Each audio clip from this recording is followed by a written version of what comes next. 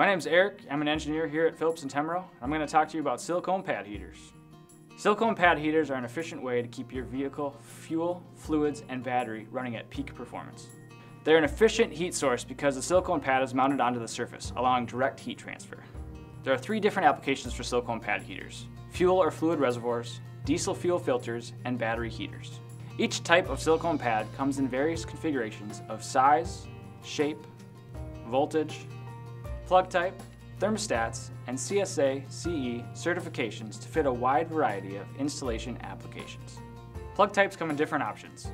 120 volt 2 prong, 120 volt 3 prong, 240 volt 3 prong, CE7 for European applications, and blunt wire ends.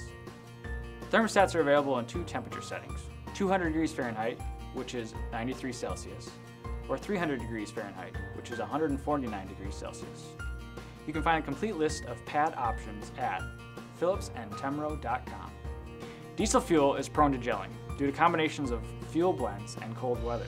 The primary filter that separates water is most prone to gelling. To assist in avoiding gelled fuel and eliminate costly fuel additives, a silicone pad heater is a great alternative. The warmth from the silicone pad will actually thaw the gelled fuel inside the diesel filter.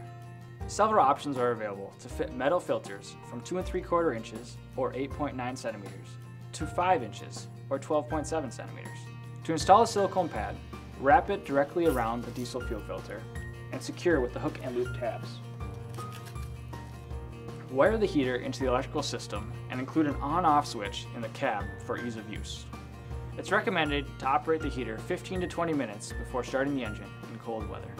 In severe cold weather, we recommend installing an Arctic Fox inline warmer in addition to the silicone pad. You can find a list of the inline fuel and fluid warmers at phillipsandtemro.com. Thank you for joining us today. Please watch for additional installation videos on how to keep your vehicle up and running during the cold weather season. And don't forget to visit our website at phillipsandtemro.com.